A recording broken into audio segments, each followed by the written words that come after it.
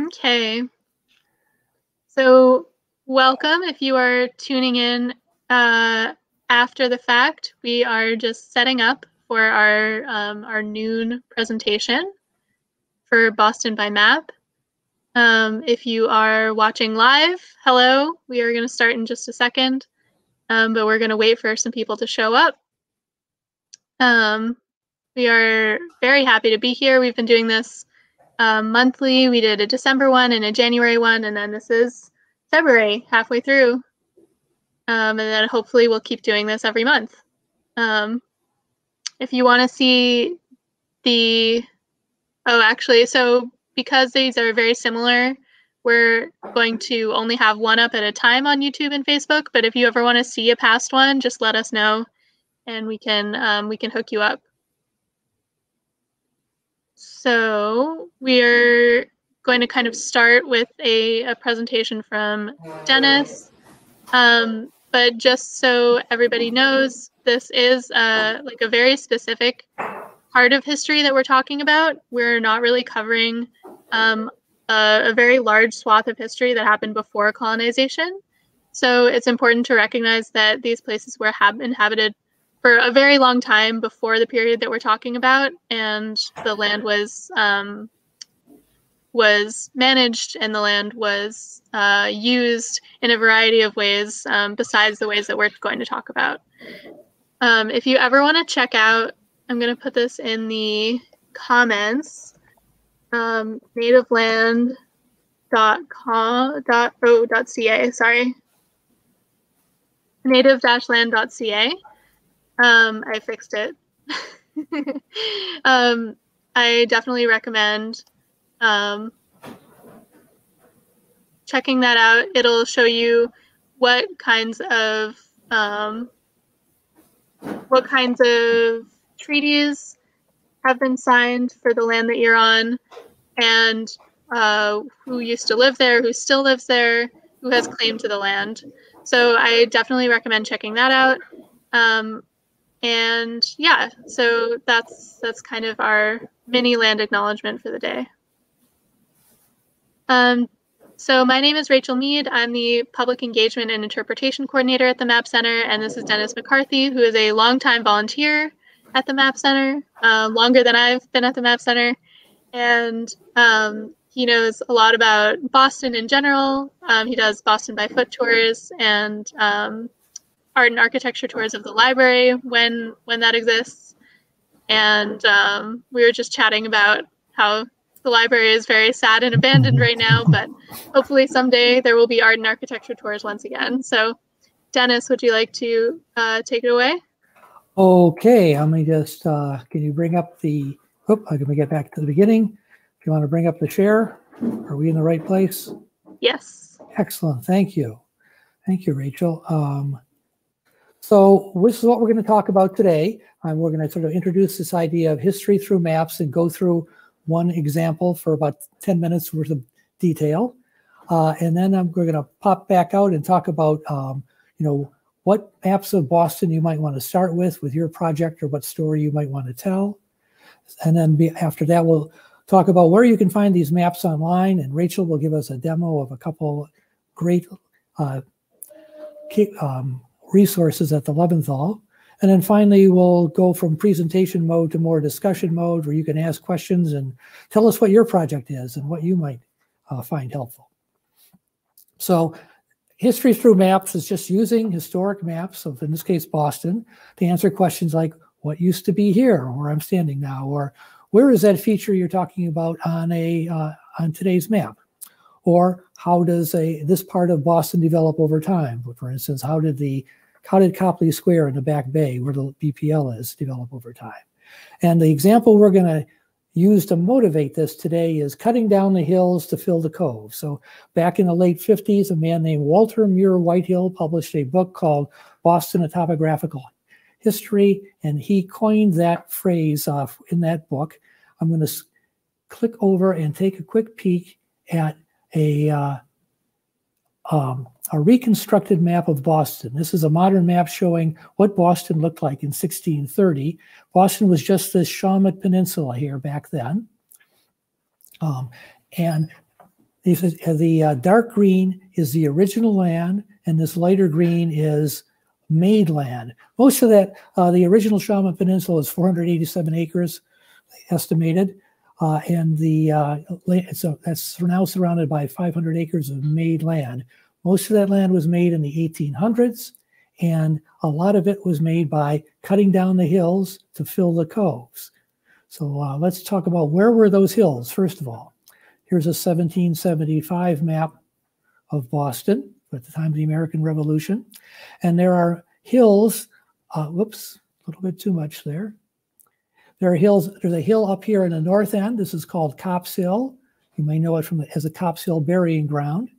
There was another hill on the south, in the south end, or here called Fort Hill, because of the fort that was on top of it. And then to the west, there was a, a ridge of three peaks that called the Tri Mountain. In the center is Beacon Hill, that everybody's heard of. Uh, to the east of that was a hill that was called Cotton Hill at this time, later Pemberton Hill. And to the west, there was another hill uh, which was called West Hill and Polite Company. The author of this map was a British officer, so he used a more military term, how it was known to the soldiers because of the red light district that was there. Now I'm going to switch over from here to another, the next map in this reconstruction series uh, to show what Boston looked, what the shoreline looked like here in uh, the end of the 1700s. Here's the Shawmut Peninsula. That there's a cove on the east, the town cove, as it was called, labeled here. There's a cove up here on the north that uh, shows a mill dam running, uh, separating the cove into the inner area called the mill pond, uh, in the other area next to the Charles. The mill, that mill dam was actually created in the 1640s so that uh, they built water-powered or tide-powered mills at the entrances to grind grain. And then there's this West Cove uh, that's west of Beacon Hill today. There's also a South Cove. We're not going to talk about that though because there were no hills chopped down to uh, fill that. So let's take a look at now this uh, Rachel will provide everyone with a handout, a PDF file in which you can follow all these links and see everything I'm showing you so you don't have to uh, try and hurriedly write down notes. So first we're going to talk about how that North Cove got filled. Um, in, eight, in uh, 1800, uh, new ownership took over the mill pond and the mills uh, next to it, and they promptly announced that they were going to fill the pond and sell the land. Uh, a, a, lengthy political and legal conflict ensued between the town and the proprietors. But in 1807, that was resolved, and um, Charles Bulfinch was asked to write uh, to come up with a street plan for the new made land. And this is what he came up with: this triangular shape. Uh, and if we we can now let me just sneak over to look overlay this on a map so you can see where this is in Boston today. This area is called the Bulfinch Triangle. It's bounded by Causeway Street, Merrimac Street, and North Washington Street. And you can see that as we sort of fade this map out. And this corner here is uh, Haymarket Square. Now, uh, this was filled uh, by cutting by cutting down partially two of the hills that we looked at before. Uh, part of Copp's Hill over here, and then part of the Beacon Hill in the Tri Mountain. Here's you can see how big Copp's Hill was originally. This is Snow Hill Street, as it's known today, that goes over that went over the hill in colonial times. Everything west of Copp's Hill got cut down and carried into the pond to fill it. And you can see that if you go to Snow Hill Street today, where Hudson Street comes in, on the left here, you can see this big retaining wall. That's the original hill, and this is where the other part of Copp's Hill used to be uh, as you head towards uh, Bulfinch Triangle. Now, the um, other hill that was partially cut down was Beacon Hill. This is an illustration showing Beacon Hill in the process of being cut down. Beacon Hill was behind the State House before the State House grew that big addition that heads north out of it. Uh, there was a originally there was a beacon on top of Beacon Hill. Uh, it was a pole with a bucket of flammable uh, stuff inside that they could light to uh, as a, a, warning to the town that something's going on. They never actually used it, and it was uh, removed when the hill was removed, or actually it was replaced in the 1790s by this monument, also designed by Bulfinch. That was removed when the hill was torn down, and uh, it was only re- uh, put up again in the 1890s in its current location. Now, uh, it took about 20 years to fill the Bulfinch Triangle. Uh, this map from 1826 shows the area still labeled the Mill Pond, but it shows all the streets in there. In fact, the land had been made by that time, but nothing was on it. This is a sketch looking, actually, we go back. This is Traverse Street here. And the sketch I'm going to show you is uh, looking down Traverse Street from the east here. And what you can see is the land has been made, but there's nothing yet on it. That's the dome of the State House. This is a drawbridge opening to let a ship pass. Uh, Bulfinch's plan had a canal running through it next to what's now still called Canal Street. Now, that filled out the um, Mill Pond behind the behind the dam here, but beyond the dam that was filled out starting in the 1830s. So uh, what happened was that I'll look at this 1838 map. Here you can see land is being made, and it was made mostly by railroads for depots. Rail, uh, the first railroad coming into Boston from the north was the Boston and Lowell here. It crossed the river on a trestle bridge to went to its railroad station right here. If you were standing down at the end of what was in Lowell Street, where my cursor is, and looking up past towards that little L shape at the end, this is what you would have seen. That's the original Boston and Lowell Depot. Uh, where did this land come from? Well, it actually came from cutting down Pemberton Hill. That was the, this hill, the easternmost of the Tri Mountain. Uh, Pemberton Hill uh, um, was purchased, or the area here was purchased by Patrick Tracy Jackson in the 1830s, and he wanted to level it to uh, create a, a residential neighborhood there. And he arranged for that earth to be removed and transported to the river or was dumped along the shoreline to make land for that railroad station. Here's a picture of Pemberton Square uh, after it had built up. It was quite an elegant neighborhood. You can actually see it uh, labeled here. We don't have a hill anymore. We have over here Pemberton Square. So that's uh, the um, Mill Pond. Now let's quickly take a peek uh, over at the westernmost of the Tri Mountain. Um, that was uh, in uh, the, if we look at the hill here, we're going to be looking at now this hill on the west. I'm going to jump ahead to an 1803 map to show you what it looked like at the beginning of the 1800s. Um, so here is a common. There was a, uh, some land had been made here, and the beginning of the, what's now Charles Street had been created. But once you got beyond Beacon Street, the streets on Beacon Hill went down to the new the shoreline here. The hill was right here. It was quite steep going down to Beacon Street into the west. And here you can see this, the line of the proposed street of extending Charles Street up to the West Boston Bridge. By 1805, it's mapped by the same uh, surveyor, shows all these streets now ending in a new Charles Street and a thin strip of land here. And by 1814, there's actually um, more land has been made outside of Charles Street, and some buildings are starting to go up. This is the Third Baptist Church. Uh, the Baptists liked this location because they could do the baptisms right here in the river next to it at high tide. Uh, that's no longer the Third Baptist Church, but that building, building still exists at the corner of Mount Vernon and uh, Charles Street in Beacon Hill neighborhood. By the way, when they were making the land, what they did was uh, they had tracks running down the hill. Um, and there were two sets of cars and two sets of tracks. And they were cars were tied together by a long rope that went through a pulley at the top of the hill. And so uh, they would load the cart, the, the carts at the top of the hill and unload the carts at the bottom of the hill at the same time. And then they'd use gravity. The heavier carts would go downhill and pull up the empty carts and reverse the process and just go back and forth and back and forth. Uh, Dennis, can we yes. um, can we address some some questions and Absolutely. comments? Absolutely. Let me. Yeah. What do we got? So we have one um, from on the 1775 map.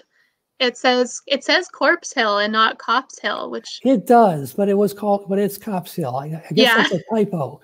Um, uh, the good catch, by the way. Yeah, yeah. This person is um, very, very astute. Also mentioned that uh, the canal uh, ran all the way to Lowell. Yeah, actually, um, just to be perfectly clear, let me go back and pop up, up a map.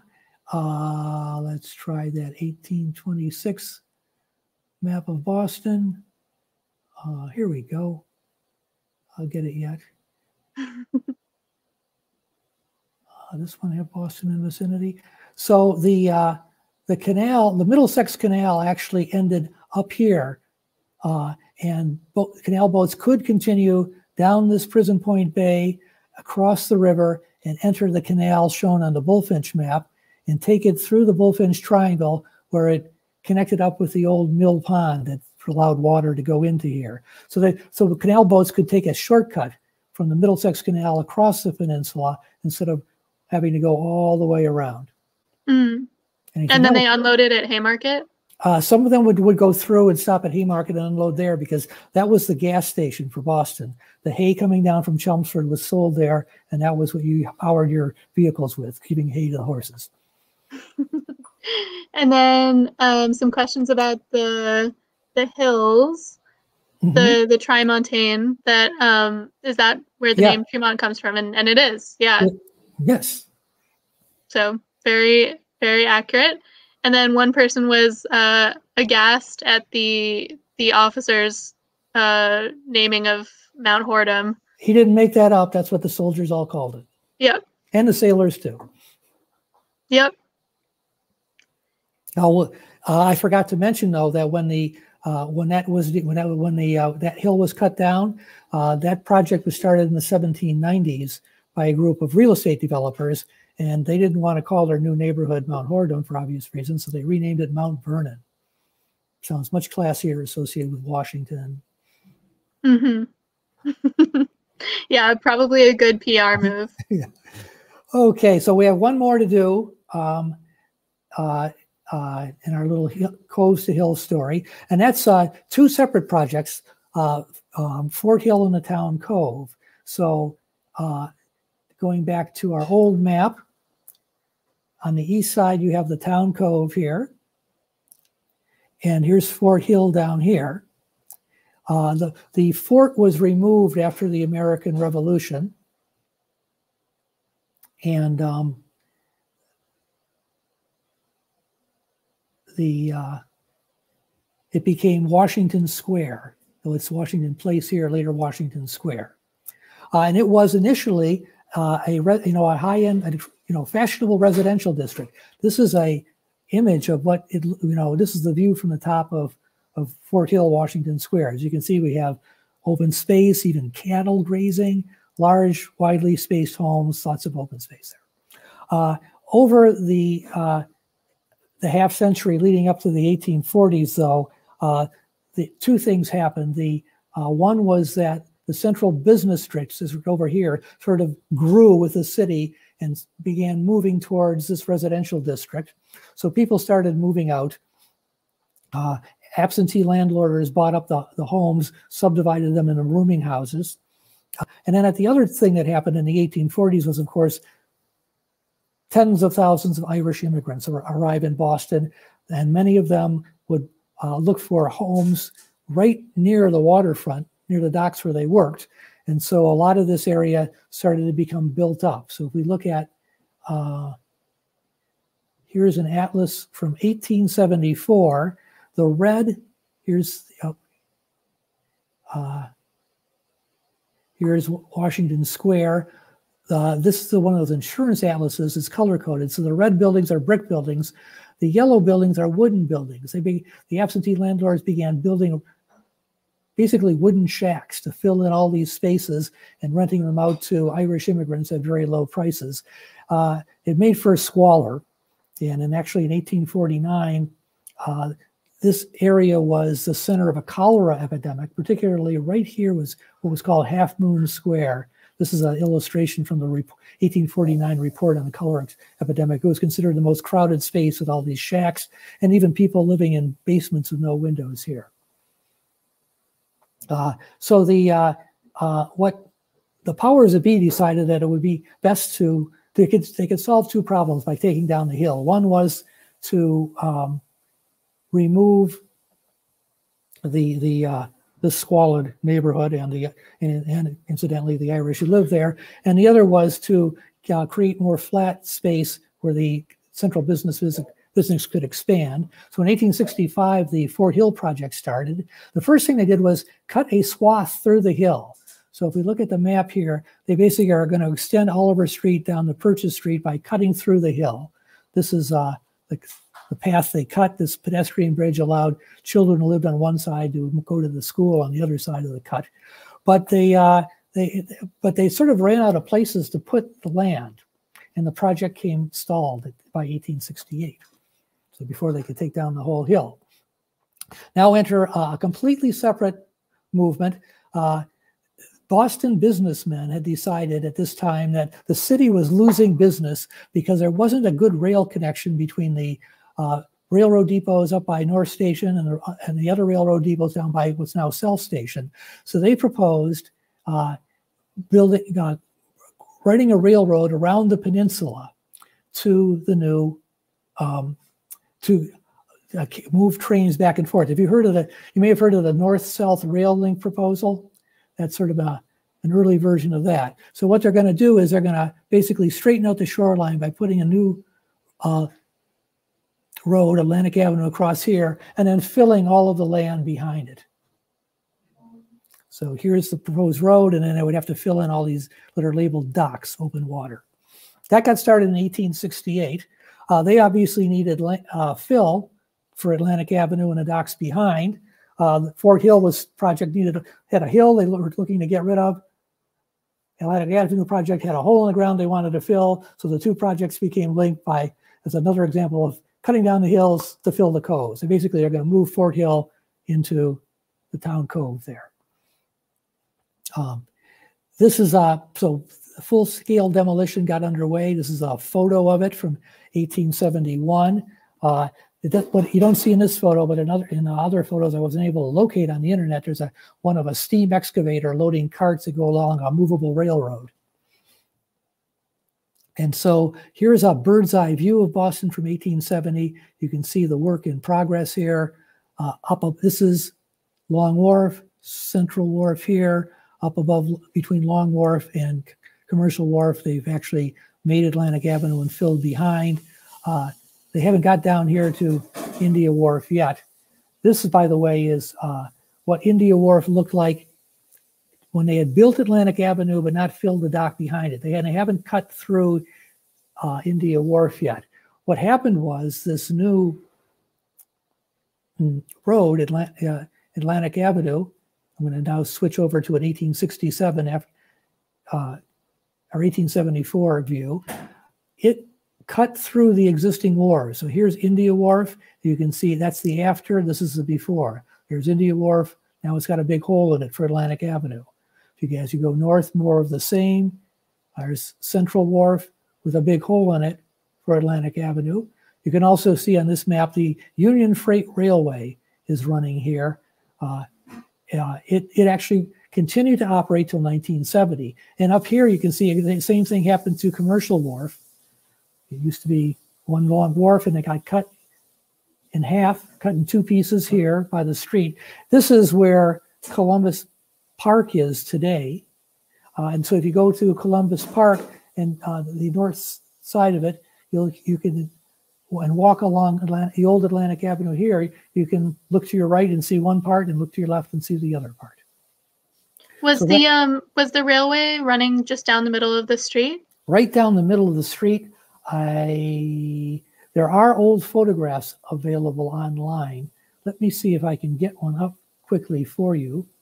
I might have a picture in my notes. Oh.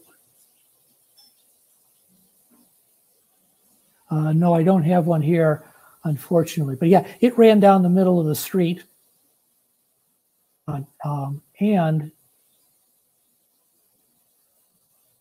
uh, not only that, but in 1901, when the Boston, when Boston's, Boston's elevated uh, mass transit opened, there mm -hmm. was mm-hmm. actually actually built an elevated train, like in Chicago, that went right down Atlantic Avenue and Commercial Street. So you had freight train at ground level, mass transit train running directly above it. So that's the, uh, let me advance to our whoop, other slides because that's that's basically what I wanted to show you as an example. So where do you go? So next step is to talk about where do you go to get maps? Uh, and what maps do you get? Because if you go to the Leventhal site, there's and search for maps of Boston, you're going to get thousands of hits. Mm-hmm. So I put together this sort of top 10 list of, you know, best of just as a, these are great, good places to start. The list was, uh, comes from two sources, Nancy Seasholes's book called Gaining Ground, which is sort of the definitive uh, book on history of Boston landmaking. Uh, and so she, her, her, book is uh, organized by neighborhood, but there's some maps that get used in multiple neighborhoods. They're just good quality and they show important points in time. And then uh, that list was supplemented by suggestions from Peter Grimm, the previous uh, curator at the Leventhal Map and Education Center. So these are you know links you can follow uh, when you're uh, looking at the handout.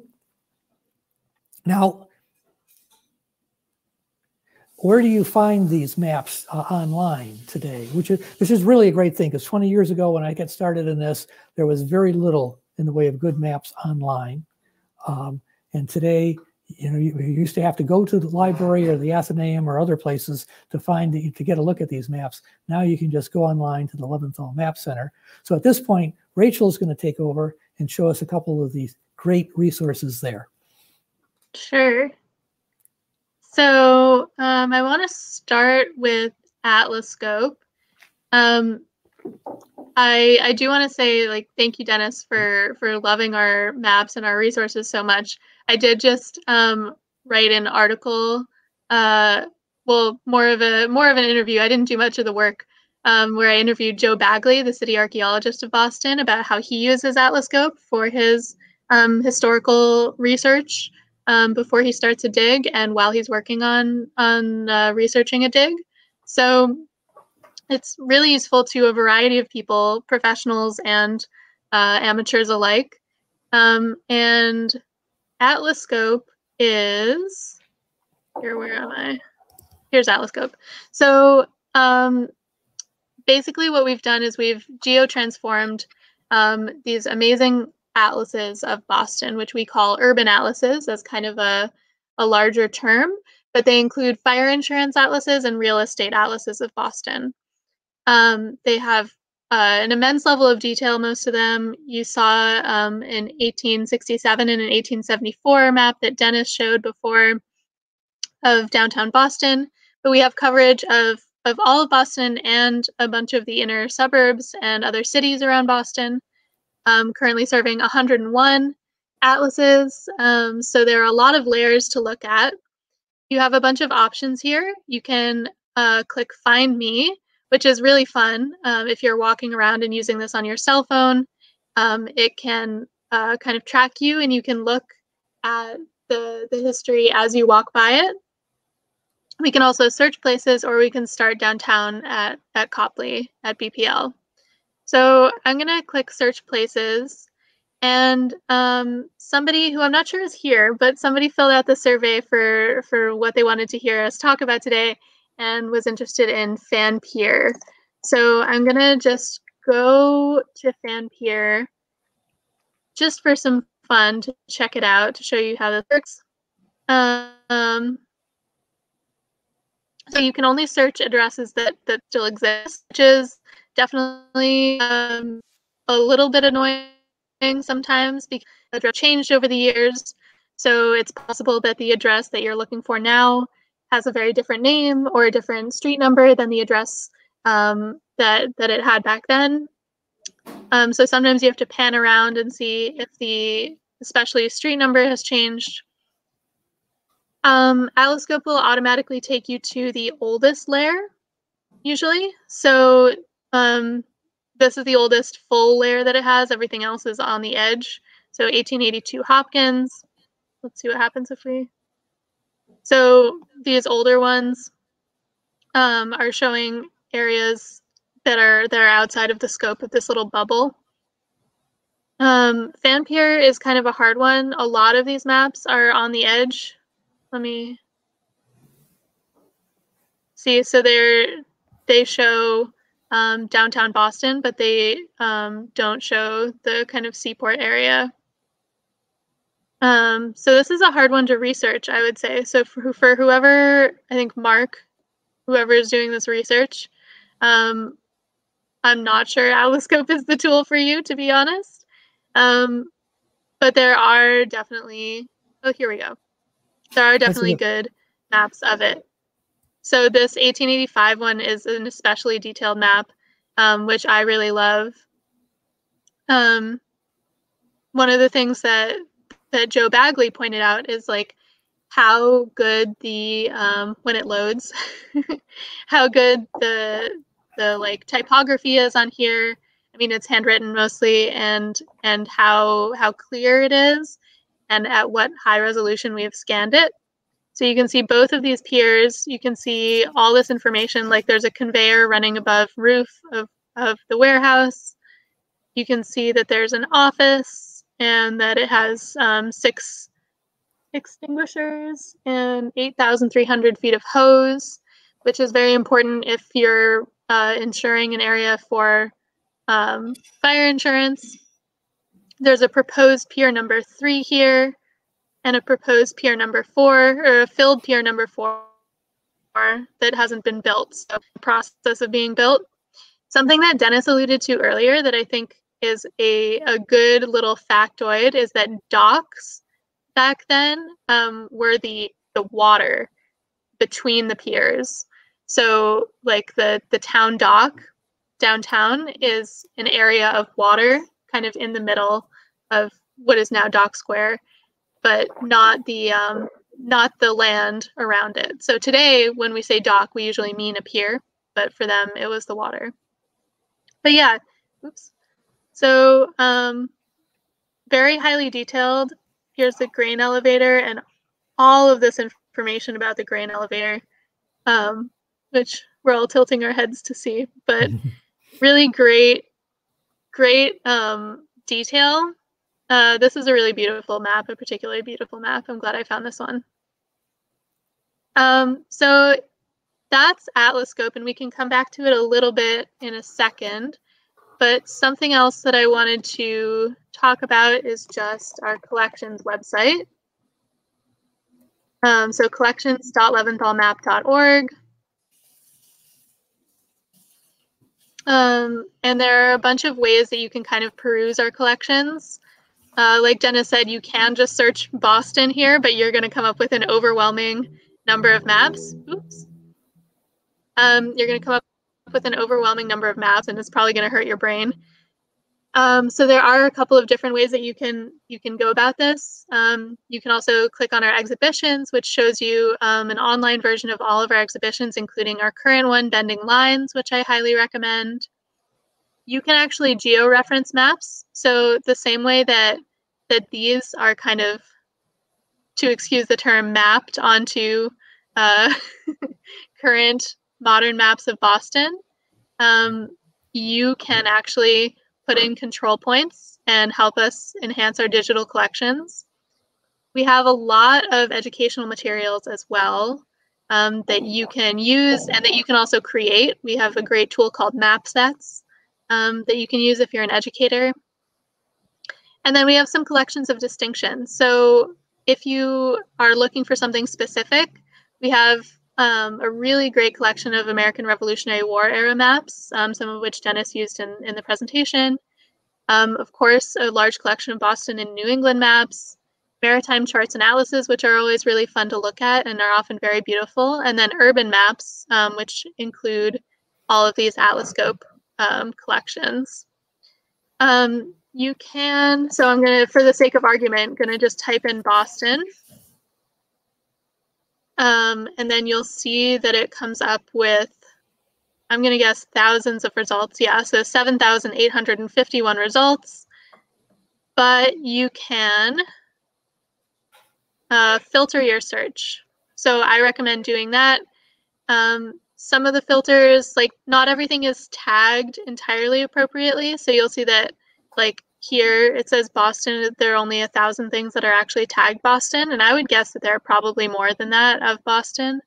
Um, the you can go by topic. A really helpful filter is by year. So I really love to do that. Um, this is interesting. You can choose maps that are from the future. um, I want to look at that.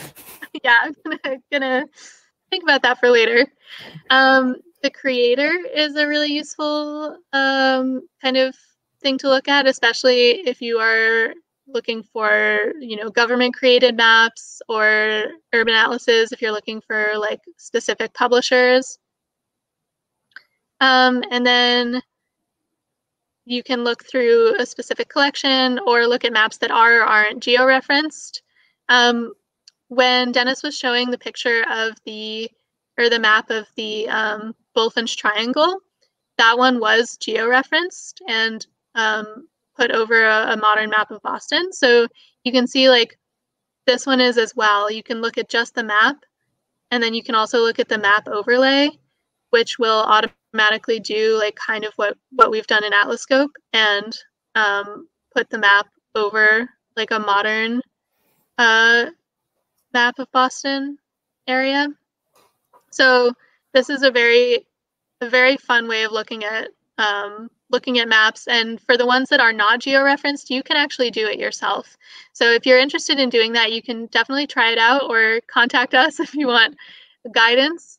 Um, but I think this is a really fun activity.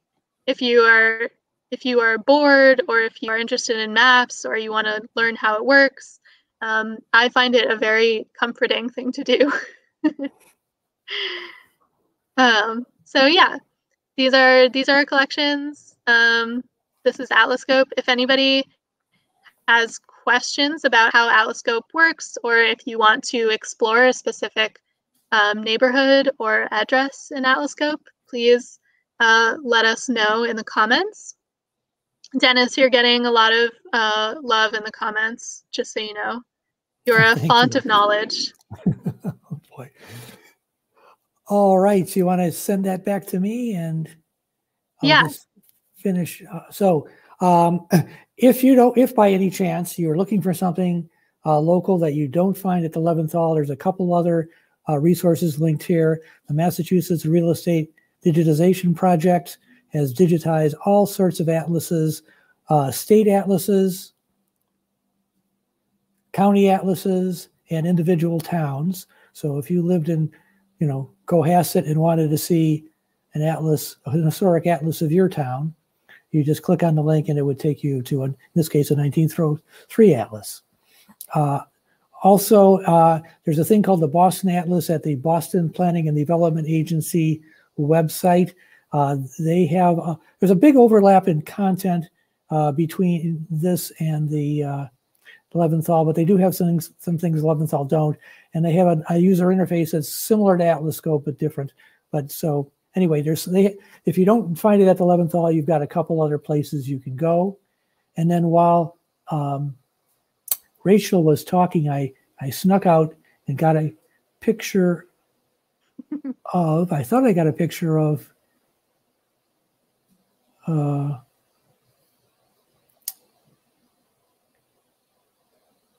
Well, I seem to have lost my picture that I had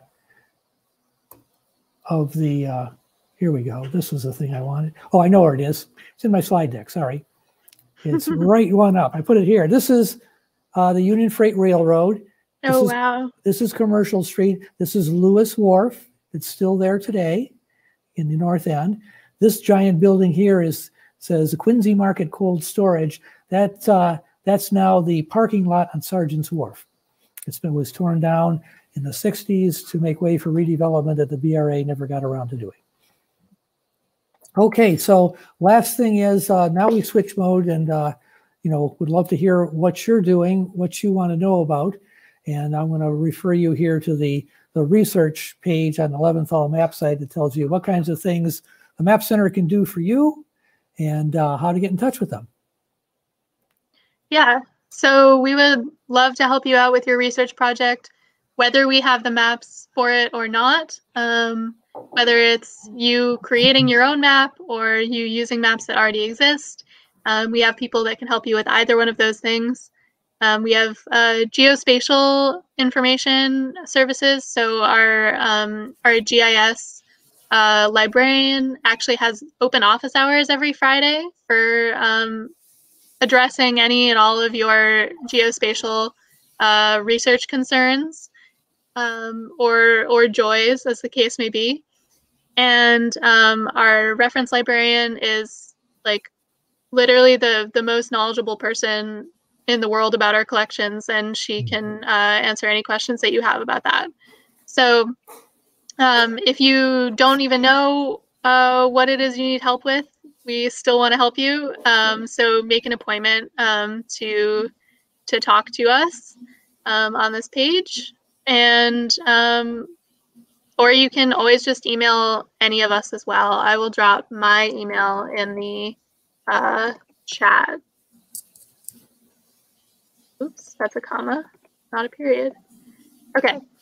Um, so so definitely let me know if you need help with anything or if you just want to chat more about Atlascope or about um, maps of Boston or if you want to get in touch with Dennis um, and learn more from from this font of information.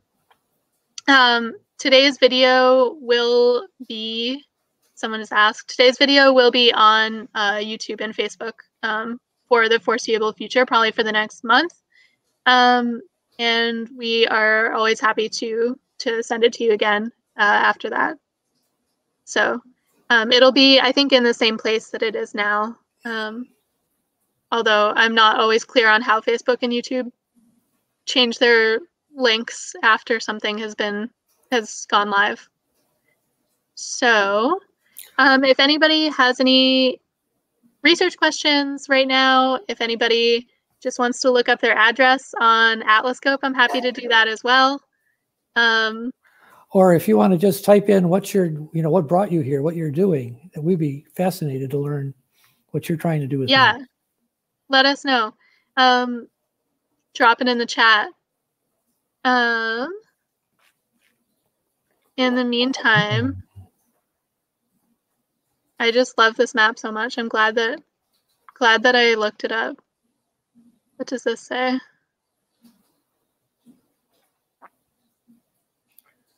Yeah, this is uh at present used mostly for cotton.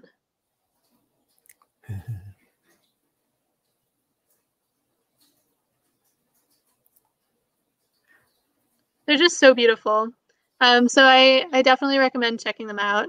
Um, if you if you haven't had time to do that so far, take a break during your day. Um, just go to here. I'll drop it. Atlascope.leventhalmap.org. Um, and we would definitely love to to show you around. So if nobody has questions, which is okay, um, I can. Hmm, what should I do? I would love to just keep looking at this map. oh, there's a seawall here. It's interesting. Yeah, that's uh, the. We, sh we should bring up an older map that shows the lobster claw. Let me let me see if I can find one while you're on, because uh, that this is a Fort Point Channel. This land along it was made as like a strip, and if uh, mm. let me mm. switch over and to my other browser, and I think the Leventhal probably has.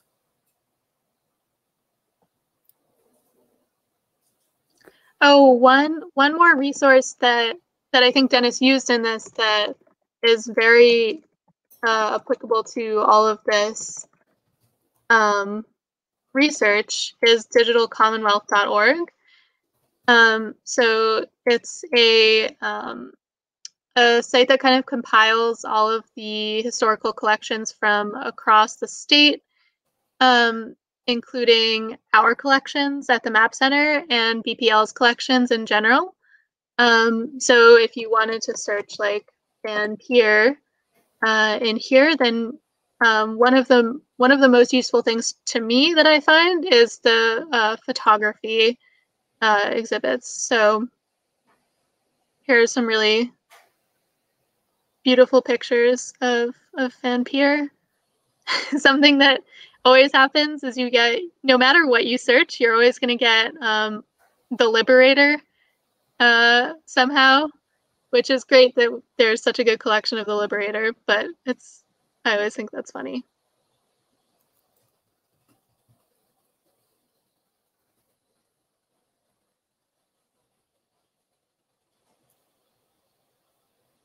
So what year is this? This photo is from 1926 from the Leslie Jones collection.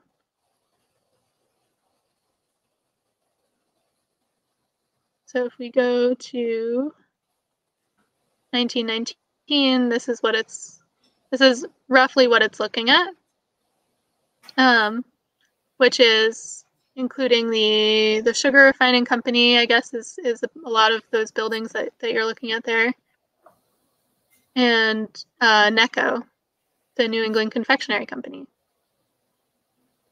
And if you uh, walk down to that neighborhood, those couple of those buildings are still there, and on one there's brick warehouse buildings, and on one of them you can see the faint, faded image of the Necco logo. Yeah, this this kind of um, curvy building is still there. Um, I wrote I wrote an article that's on our website about candy tours. Um, a candy tour of Boston that came out around Halloween. If you guys want to check that out, there's a lot of candy history, confectionery history in Boston and, and Cambridge, especially. Um, the neck that led to the north end. I think she's talking. Someone has asked about. Yeah, let me uh, pop back over to that um, 1775 map. So I there's uh, the neck is usually used to describe this little this little strip of land that connected the Shawmut Peninsula to the uh, mainland. But as you can see, there's also a narrow section sort of here between the north end and the rest of the Shawmut Peninsula. And if that's what you're talking about, uh, today, let's let's actually look at let's see if this is overlaid or not. See if we can find an overlay map. Yeah, here's an overlay map. Excellent. So if we zoom in like Rachel was doing earlier and look at where that map, where this area here is, this narrow area, that's part of the north end. That's sort of uh, the greenway is about here. Um, and so in uh, Cross Street, let me zoom in a bit. Cross Street, which runs on the north end side of the uh, Greenway and Underground O'Neill Expressway, is on this map. If I can just find it.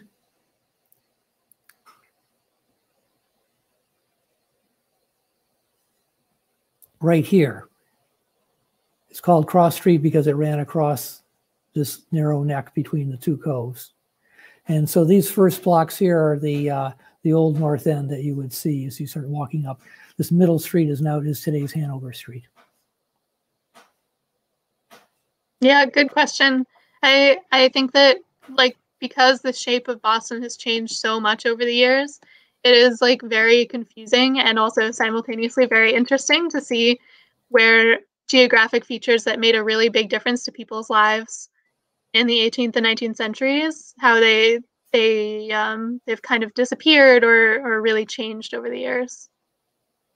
Um, I'm going to post a feedback form, which I uh, encourage everybody to fill out. Um, if you have uh, feedback for us, positive, negative, neutral, um, constructive, um, I I would love to hear it. So Dennis, um, and we will take any of the any of your suggestions into account for sure. Um, there's also in the feedback form an option to sign up for our newsletter. um, which is always a fun time to get maps in your mailbox. And if we continue doing this monthly, there will appear shortly uh, an event in the uh, Leventhal events page.